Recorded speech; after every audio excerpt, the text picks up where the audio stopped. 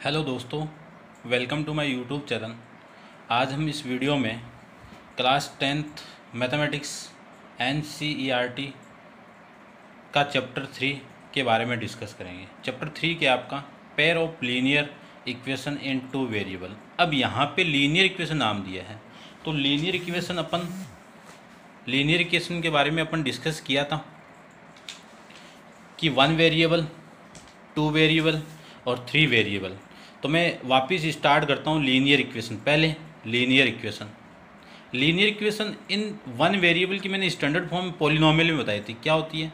A x plus b equal to zero ये linear equation in one variable होती है। क्या होती है? वन वेरिएबल अब मैं टू वेरिएबल की बात करूँ तो a x plus b y plus c equal to zero. ये किसमें होती है? टू वेरिएबल में होती है। ये आपकी स्टेट लाइन की जनरल फॉर्म को रिप्रेजेंट करती है। जनरल फॉर्म क्या होती है? y equal to m x plus c ये स्टेट लाइन की जनरल फॉर्म, जिसमें m क्या है? स्लोप है। c क्या है? इंटरसेप्ट है। ठीक है? तो लीनियर इक्वेशन किसे कहते हैं? यहाँ पे टू वेरिएबल हैं, x और y इस x को वेरिएबल लेके चलूँ तो इस x की मैक्सिमम पावर कितनी है? वन इस y की मैक्सिमम पावर कितनी है?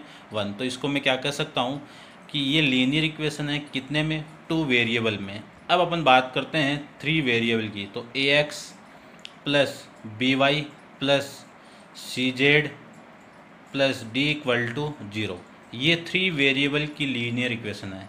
ये रिप्रेजेंट करता है equation of equation of plane को।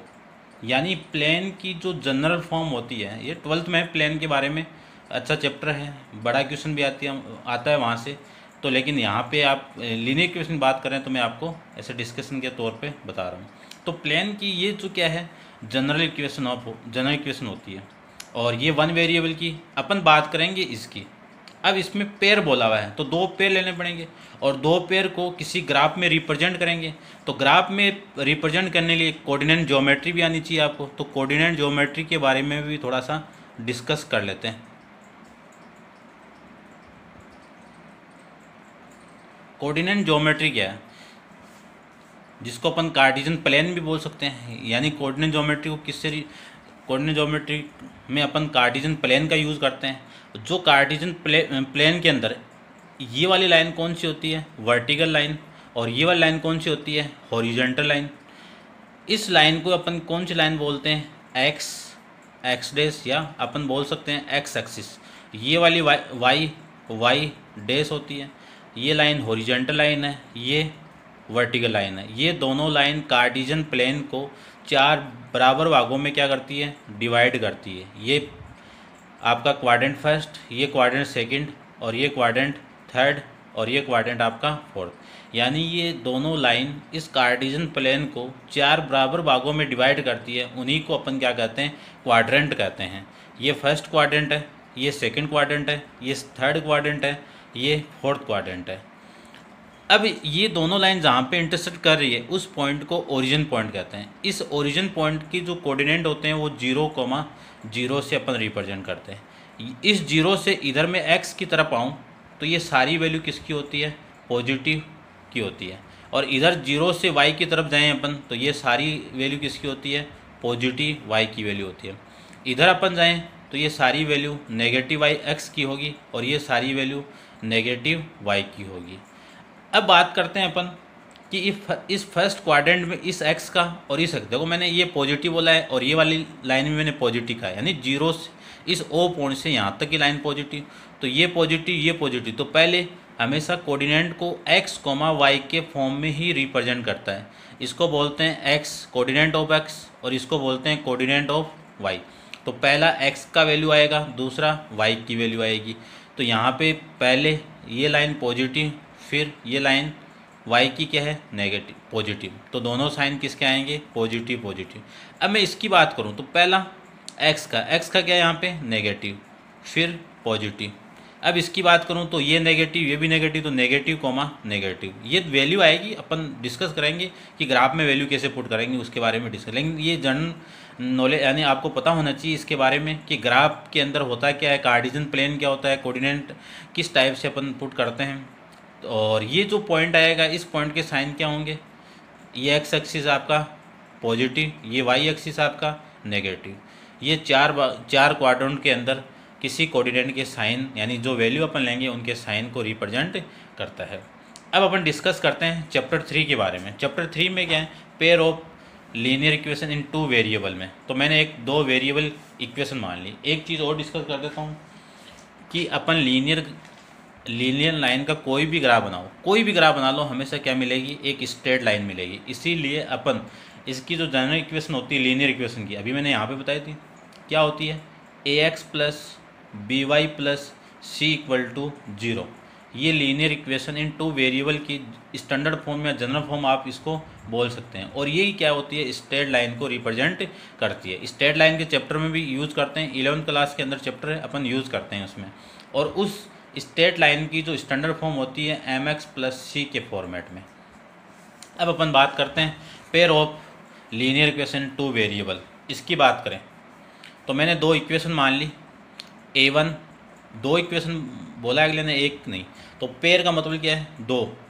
तो a one x plus b one y plus c one equal to zero a two x plus b two y plus c equal to zero ये equation number first हो गई। और ये equation number आपकी second हो गई। अब ये जो मैंने आपको बताया, ये अपन 3.2 के 3.2 के में, के एक्सरसाइज के अंदर अपन इसके बारे में डिस्कस करेंगे। फिर भी मैं आपको बता देता हूँ, यहाँ इस एक्स का कोपिशेंट क्या है? ए वन यहाँ पर एक्स का कोपिशेंट क्या है? ए टू इन दोनों का रेशियो वाई के कोपिशेंट के रेशियो के क्या होना, नहीं होना चाहिए? इक्वल नहीं होना चाहिए। यानी ए वन अपॉन में a two not equal to b one upon में बी टू यदि ये कंडीशन आ गई तो जो स्टेट इसकी भी एक स्टेट लाइन और इसकी भी एक स्टेट लाइन ये दोनों क्या करेगी? इंटरसेक्टिंग करेगी, इस टाइप से। ये वाली लाइन एक हो गई, ये दूसरी हो गई, यानी ये इक्वेशन वन और ये इक्वेशन टू तो इस पॉइंट पे क्या कर गई? इंटरसेक्शन ये इस इक्वेशन के क्या होंगे? इन दोनों के सॉल्यूशन को रिप्रेजेंट करेगा। सॉल्यूशन यानी यहाँ से एक्स और वाई को अपन सोल्व करते हैं, वही वैल्यू इंटरसेक्टिंग पॉइंट को ही रिप्रेजेंट करता है। अब यहाँ पे एक इंटरसेक्टिंग पॉइंट है तो सॉल्यूशन क्या होंगे? वन या यूनिक सॉल्यूशन अपन बोल सकते हो। फिर इसको अपन क्या बोल सकते हैं? Consistence of consistent pair of the equation यानी जो इक्वेशन है, उसके पेयर क्या होंगे? कंसिस्टेंट इसका मतलब होता है संगत। हिंदी में बोलते हैं इसको संगत। और इसको बोलते हैं असंगत। इनकन्सिस्टेंस का मतलब होता है असंगत। फिर मैं बात करूँ a one upon a two equal to b one upon b two equal to c one upon c two equal to zero यानी इसका रेशियो इसका रेशियो इसका इसका तीनों आपस में क्या हो? इक्वल यदि इक्वल आ जाए तो इक्वेशन क्या होगी? सेम होगी। तो ग्राफ भी क्या बनेगा? दोनों का सेम बनेगा। तो मान लो कि मैं ये बनाऊँ कि ये एक ग्राफ है, इस पर ये लाइन हो गई। तो दूसरी लाइन की इक्वेशन भी क्या आएगी? इसको। तो मैंने इसको ऐसे रिप्रेजेंट कर दिया। अब देखो, इस लाइन के ऊपर एक दूसरी लाइन है। तो वो तो इन्फिनाइट तक जाएगी तो टच होती जाएगी। तो उसको अपन क्या बोल सकते हैं? उसके सॉल्यूशन क्या होंगे? इन्फिनेटली सॉल्यूशन या फिर आप बोल सकते हो मैनी सॉल्यूशन और ग्राफ किस टाइप से बनेगा, इस टाइप से। जिसके सॉल्यूशन होते हैं, वो इक्वेशन क्या करेगी? कंसिस्टेंस करेगी। जिसके सॉल्यूशन नहीं होते हैं, वो इन कंसिस्टेंट इसके सॉल्यूशन थे, इसके सॉल्यूशन तो दोनों की इक्वेशन क्या है? कंसिस्टेंस पेयर होंगे इनके। फिर पैरेलल की बात करूँ, ये वाला नॉट इक्वल टू में चला जाएगा। यानी ये दोनों सेम आएँगे, ये दोनों सेम नहीं आएँगे।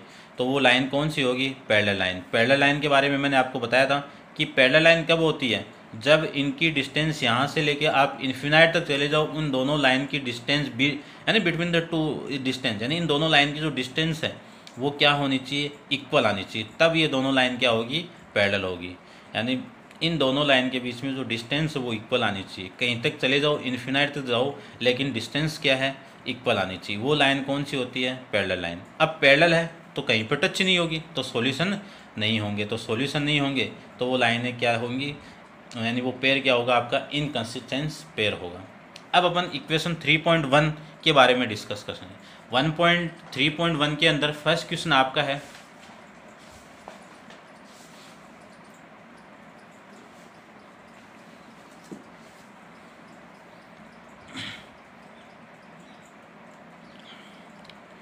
Aftab tell his daughter seven year seven year ago यानी आफ्ताब अपनी डॉटर से कहता है कि seven year ago, seven year ago का मतलब सेवन साल यानी सात साल पहले। I was seven time as old as you were then. यानी मैं कितना था कि इसकी डॉटर है, उस डॉटर की सेवन टाइम्स एज के इक्वल था। तो सेवन था तो सबसे पहले कौन बोल रहा है? आफ्ताब बोल रहा है। तो आफ्ताब की जो एज है, उस प्रजेंट एज को मान लेते हैं अपन। कि present age of Aftab equal to x और इस हीज डॉटर की जो प्रजेंट एज है उसको मैं क्या मान लूँ? वाई मान लेता हूँ।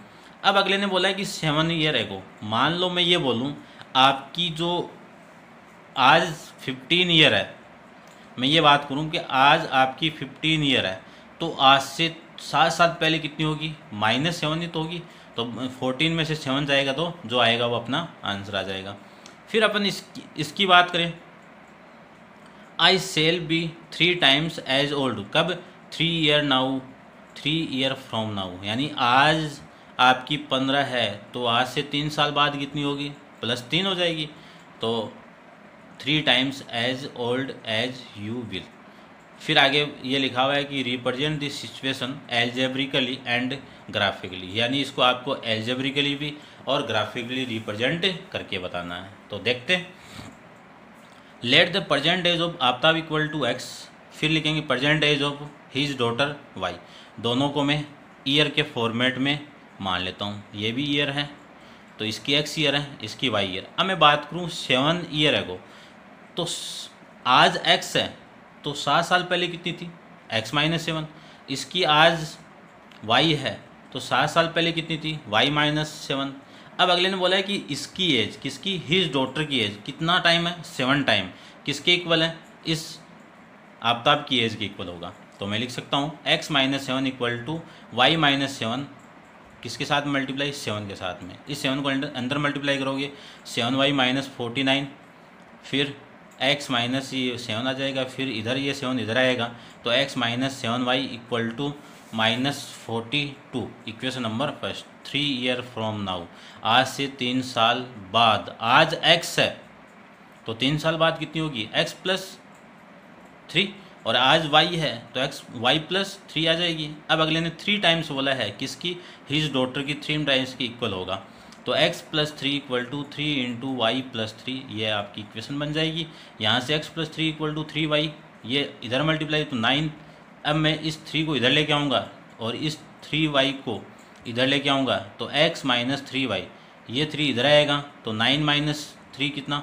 सिक्स ये इक्वेशन नंबर सेकंड अब ग्राफ ये तो हो गई एल्जेब्रिक एल्जेब्रिक रिप्रेजेंटेशन हो गया। अब आपको इसको ग्राफिकली रिप्रेजेंट करना है। तो फ्रॉम इक्वेशन वन को क्या लिख सकता हूँ? X minus seven y equal to minus forty two x equal to minus forty two plus seven y यहाँ से फ़र्स्ट अपन वैल्यू पुट करेंगे, जैसे ही यानी यहाँ पे वो वैल्यू पुट करो एक्स की अपने आप चलती आएगी। मिनिमम आपको तीन वैल्यू तो निकालो, या चार भी आप निकाल सकते हो। तो मैं तीन निकाल के आपको बता रहा हूँ। One y equal to five यहाँ पे फाइव पुट करो। कितना? सेवन इंटू फाइव कितना? थर्टी फाइव तो कितना? Minus forty two plus thirty five कितना आ जाएगा? माइनस सिक्स बड़ी वैल्यू में से, यानी बड़ी वैल्यू किसकी है? नेगेटिव छोटी वैल्यू किसकी है? पॉजिटिव तो छोटी में से बड़ी माइनस होगी तो वैल्यू किसकी आएगी? नेगेटिव आएगी। Second y equal to six put करेंगे। तो यहाँ पे पुट करो सिक्स कितना? सेवन इंटू सिक्स कितना? Forty two forty two minus forty two कितना? ज़ीरो अब y equal to seven put करो फोर्टी नाइन तो minus forty two plus forty nine कितना? एक्स की वैल्यू कितनी आ गई? सेवन इसको अपन बॉक्स के अंदर रिप्रेजेंट आगे कर देंगे। अब अपन बात करें इस बॉक्स की। तो इस बॉक्स के अंदर क्या आएगा? देखो। ये आपका थ्री वाई इधर आएगा तो सिक्स प्लस थ्री वाई अब फ़र्स्ट में y equal to zero put कर दो तो ये ज़ीरो आ जाएगा। एक्स की वैल्यू कितनी आ जाएगी? सिक्स अब इसकी वैल्यू वन पुट कर दो माइनस का तो थ्री का माइनस के साथ मल्टीप्लाई होगा तो माइनस थ्री और माइनस थ्री इससे माइनस होगा तो कितना आ जाएगा? थ्री आ जाएगा। फिर one y equal to minus two यहाँ पर पुट कर दो तो एक्स की वैल्यू कितनी आ जाएगी? ज़ीरो आ जाएगी। अब इसको मैं बॉक्स के अंदर रिप्रेजेंट कर देता हूँ तो x minus seven y equal to minus forty two को तो y की वैल्यू फाइव थी तो x की वैल्यू माइनस सेवन इसकी सिक्स थी तो x की वैल्यू ज़ीरो इसकी सेवन थी तो x की वैल्यू सेवन इसका ग्राफ ये आ जाएगा अपना. अब देखो, इसमें जो पहली वैल्यू वो कितनी है? माइनस सेवन कोमा फाइव तो माइनस सेवन यहाँ से और फाइव यहाँ से. ये पहला कोऑर्डिनेट आ गया. Zero comma six zero comma six अब मैं एक चीज़ और बता, इस लाइन पे एक्स की वैल्यू हमेशा ज़ीरो और इस लाइन पे वाई की वैल्यू हमेशा ज़ीरो ये आपकी इक्वेशन ऑफ़ एक्स एक्सिस कहलाती है, ये इक्वेशन ऑफ़ वाई एक्सिस कहलाती है। यहाँ पे एक्स की वैल्यू ज़ीरो है तो पहला पॉइंट ज़ीरो एक्स हो गया, फिर वाई की वैल्यू कितनी है? सिक्स तो आपका सेकंड पॉइंट ये हो गया। फिर सेवन कोमा सेवन तो सेवन एक्स का ये रहा, यहाँ से अपन ऊपर जाएँगे, क्योंकि पॉजिटिव वैल्यू ऊपर जाना पड़ेगा तो ये वाई की वैल्यू आ जाएगी सेवन कोमा सेवन इस इक्वेशन का नाम क्या है? X minus seven y equal to minus forty two अब आगे ये कर देना क्योंकि इसी का मीनिंग होता है कि लाइन आपकी कहाँ जा रही है? इन्फिनाइट जा रही है। आप जैसे जैसे वाई की वैल्यू पुट करते जाओगे, वैसे वैसे आपको एक्स की वैल्यू मिलती जाएगी। तो लाइन क्या जाएगी? इन्फिनाइट तक जल, चलती जाएगी। तो ये आपकी, इस लाइन का ग्राफ हो गया। अब सेकंड की बात करें तो सेकंड आपको मैंने पीछे करवाया हुआ है। आपको एग्ज़ाम में आए तो एग्ज़ाम में ऐसे करके दिखाना है।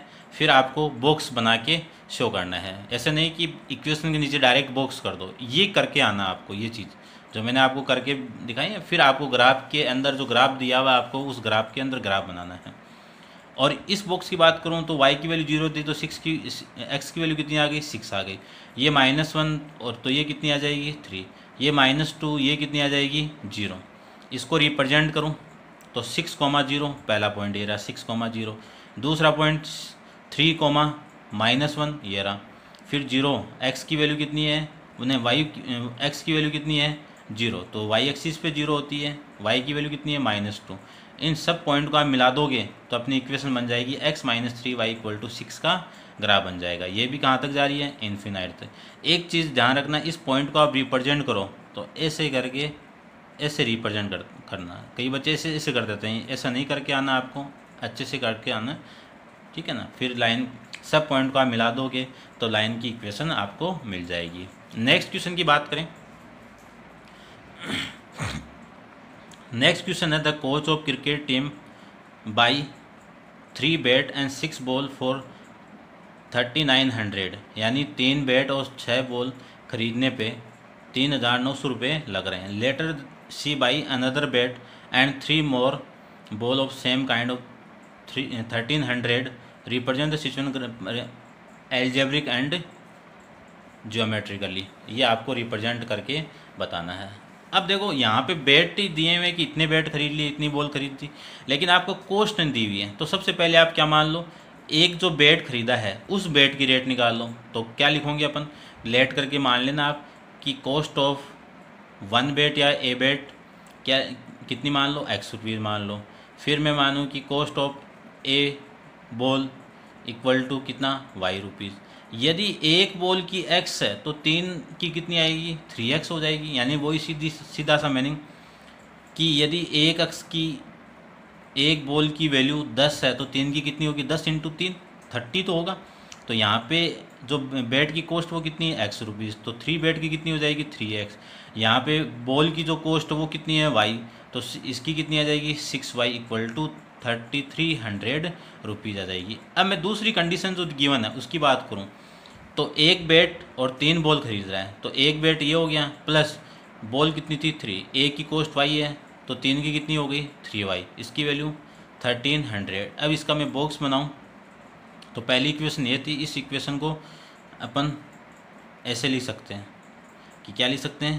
पहले तो थ्री कॉमन निकाल लो। थ्री कॉमन निकालेंगे तो x plus two y plus equal to thirteen hundred अब ये जो टू वाई यहाँ पर आया था, वो इधर यानी इस फॉर्म में लिख सकते हैं।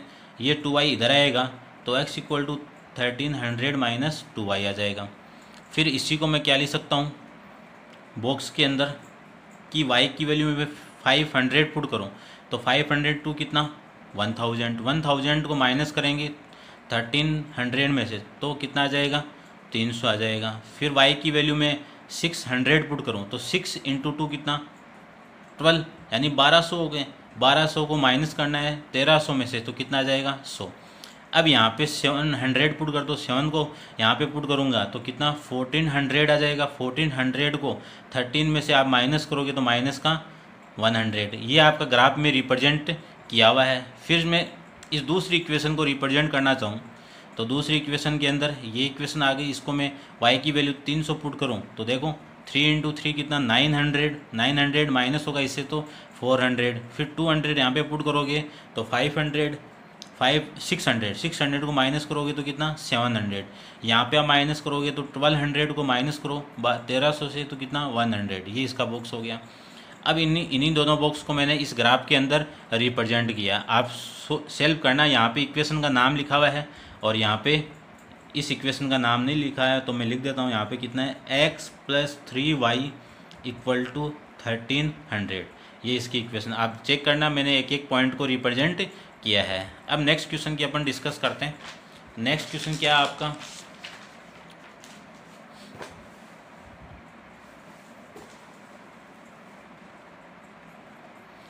The cost of two K G of apple and one K G of grapes on a day was found to be one sixty rupees. After a month, the cost of 4 kg of apple and 2 kg of apple is 300 represent the situation algebraically and geometrically यानी दो के जी Apple की cost और एक के जी grapes की इन दोनों का अपन ख़रीद के लाते हैं, तब कितनी कॉस्ट लग रही है? वन सिक्सटी रुपीज़ लग रही है। तो यहाँ पे आपको कॉस्ट नहीं दी हुई है। तो सबसे पहले कॉस्ट मान लो किसकी? वन के जी एप्पल की मान लो एक्स मान लेते हैं, फिर वन के जी ग्रेप्स की मान लेते हैं। तो अपन करते हैं, the cost of apple equal to x rupees per K G cost of grapes equal to y K G y rupees per के जी अब आपको कॉस्ट दो के जी की निकालनी है तो एक के जी कितनी रेट है एप्पल की? एक्स है तो दो की कितनी हो जाएगी? टू एक्स यदि एक के जी ग्रेप्स है तो एक के जी ग्रेप्स की वैल्यू कितनी हो जाएगी? वाई ये दोनों चीज़ आप लेके आते हो तो दोनों के रुपीज़ कितने लगते हैं? वन सिक्सटी यानी इन दोनों को ऐड करोगे तब वन सिक्सटी आएगा। अब आप फोर के जी एप्पल लेते हो तो इसकी कॉस्ट कितनी लगेगी? एक्स इंटू फोर फिर वाई के जी ग्रेप्स लेते हो वाई रुपीज़ पर के जी है तो टू के जी ले रहे हो तो वाई टू वाई आ जाएगा। और इस दोनों के रुपीज़ कितने दे रहे हैं? थ्री हंड्रेड यहाँ से मैं इस इक्वेशन को क्या ले सकता हूँ? टू से डिवाइड करके कि two x plus y equal to one fifty आ जाएगा। फिर अपन इस इक्वेशन की बात करूँ two x plus y equal to one sixty यहाँ से y equal to one sixty ये टू एक्स इधर आएगा तो नेगेटिव आ जाएगा। अब इस एक्स की वैल्यू पुट कर दो, इतनी देर वाई की वैल्यू पुट कर रहे थे अपन। एक्स की वैल्यू आसपास वैल्यू पुट करना है कि ग्राफ ऐसा नहीं कि एक पॉइंट तो एकदम लो आ जाए, एक पॉइंट बहुत हाई तो एकदम पास पास में लाना आपको। तो एक्स की वैल्यू क्या पुट करूँ? सिक्सटी सिक्सटी इंटू टू कितना? वन ट्वेंटी वन ट्वेंटी को minus sixty into one sixty, ये आपका फोर्टी आएगा। यहाँ पे फोर्टी आएगा। सिक्सटी सिक्सटी अपन पुट करेंगे तो एक्स की वैल्यू कितनी आ गई? सिक्सटी सिक्सटी इंटू टू कितना आ जाएगा आपका? वन सिक्सटी, और वन सिक्सटी यहाँ पर आप पुट करोगे, यानी वन ट्वेंटी को माइनस करोगे तो फोर्टी आ जाएगा। अब फोर्टी यहाँ पे पुट करो तो एट्टी एट्टी माइनस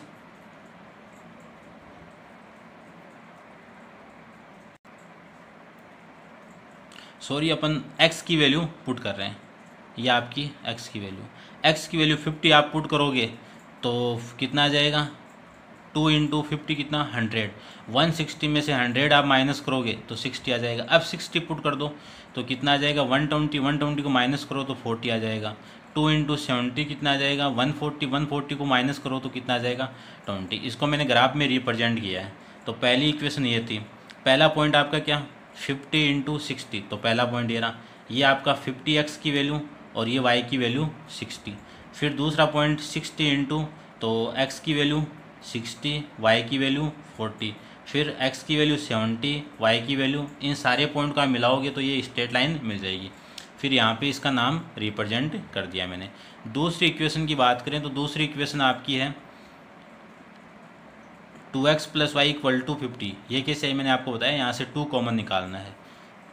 टू को कॉमन निकालो, यहाँ से भी टू कॉमन तो यहाँ पे डिवाइड होकर कितना आ जाएगा? वन फिफ्टी आ जाएगा। तो y equal to five, one fifty minus two x. X की वैल्यू फिफ्टी पुट करो तो यहाँ पे कितना आ जाएगा? फाइव फिफ्टी आ जाएगा। और यदि मैं सिक्सटी पुट करूँ तो यहाँ पे थर्टी। यदि सेवेंटी पुट करूँ तो यहाँ पे टेन। इसको भी मैंने ग्राफ में रिप्रेजेंट किया हुआ है। आप देखना, ये पहला पॉइंट है। ये दूसरा पॉइंट है, ये तीसरा पॉइंट इन तीनों पॉइंट को आप ज्वाइन करोगे, एक स्ट्रेट लाइन मिलेगी आपको और ये आपकी इस इक्वेशन की ग्राफ और इनको अपन रिप्रेजेंट करें तो ये आपका एक्स है और ये आपका एक्स डेस है. ये वाई है और ये आपका वाई है. ये आप एग्ज़ाम के अंदर इतनी फॉर्मेलिटी आप करके आना है. फिर ये ग्राफ आपको ऐसे वैल्यू पुट करके बनानी है. Thank you so much